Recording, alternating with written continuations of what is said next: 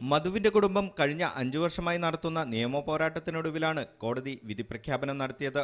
ആകെ പതിനാറ് പ്രതികളിൽ പതിനാല് പേരും കുറ്റക്കാരാണെന്ന് കോടതി കണ്ടെത്തി. മനഃപൂർവമല്ലാത്ത നരഹത്യ എസ് സി എസ് ടി അതിക്രമം ഉൾപ്പെടെയാണ് പ്രതികൾക്കെതിരെ ചുമത്തിയത്.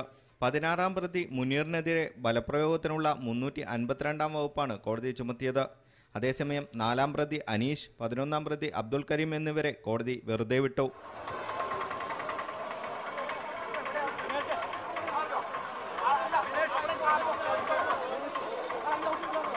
വിധിയിൽ സന്തോഷമുണ്ടെങ്കിലും വെറുതെ വിട്ട പ്രതികൾക്കെതിരെ കൂടി നടപടിയുണ്ടായാലേ മധുവിന് പൂർണമായി നീതി ലഭിച്ചതായി പറയാനാകൂ എന്ന് മധുവിന്റെ കുടുംബം റിപ്പോർട്ടർ ടിവിയോട് പറഞ്ഞു. ഇരുവർക്കുമെതിരെ മേൽക്കോടതിയിൽ അപ്പീൽ നൽകുമെന്നും മധുവിന്റെ കുടുംബം അറിയിച്ചു. അതെ ഞങ്ങൾ കോടതിയെ സമീപിക്കും. അവർക്കെതിരെ ഉള്ള ഇതിന് ഞങ്ങൾ അപ്പീൽ പോവും. എന്തായാലും മുന്നോട്ട് തന്നെ. ഇപ്പോൾ എന്തായാലും ഈ പതിനാല് പേർക്ക് പതിനാല് പേരും കുറ്റക്കാരാണെന്ന് കണ്ടെത്തിയതിൽ വളരെ വളരെ സന്തോഷമുണ്ട്. വിധിയിൽ തൃപ്തിയാണോ?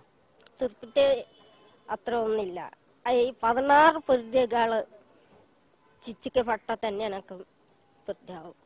വിധിയിൽ തൃപ്തിയുണ്ടെന്ന് പ്രോസിക്യൂഷനും പ്രതികരിച്ചു. തീർച്ചയായിട്ടും അനുകൂല വിധിയാണ് കോടതിയുടെ ഭാഗത്തു നിന്ന് ഉണ്ടായിട്ടുള്ളത് അക്കാര്യത്തിൽ എപ്പോഴും പ്രോസിക്യൂഷൻ സന്തോഷമുണ്ട്. കാരണം പൂർണമായിട്ട് ഈ പ്രതികളെ മുഴുവൻ വെറുതെ വിട്ട ഒരു വിധിയല്ല കോടതി പറഞ്ഞിട്ടുള്ളത്. വിവിധ സെക്ഷനുകളിലായിട്ട് ഇവർ കുറ്റക്കാരാണെന്ന് കോടതി കണ്ടെത്തിയിട്ടുണ്ട്. പ്രതികൾക്കും പരമാവധി ഒരു ശിക്ഷകൾ കൊടുക്കുന്ന തരത്തിലുള്ള ഒരു വിധിയിലേക്ക് ഇത് പോകുമെന്ന് തന്നെ പ്രതീക്ഷിക്കുന്നു. പ്രോസിക്യൂഷൻ ഏതെങ്കിലും തരത്തിലുള്ള കാര്യങ്ങൾ ആവശ്യപ്പെട്ടിട്ടുണ്ടോ കോടതി?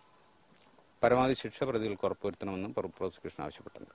ഏതായാലും പൂർണ തൃപ്തനാണ്. എന്തായാലും വിധിയുടെ പൂർണ ഇത് വരട്ടെ. ബാക്കിയുള്ള കാര്യങ്ങൾ നമ്മൾ പരിശോധിക്കും. അതിനുശേഷം ബാക്കി. വിധി പ്രസ്താവത്തോടനുബന്ധിച്ച് കനത്ത സുരക്ഷയാണ് മണ്ണാർക്കാട് പ്രത്യേക കോടതി പരിസരത്ത് ഒരുക്കിയിരിക്കുന്നത്.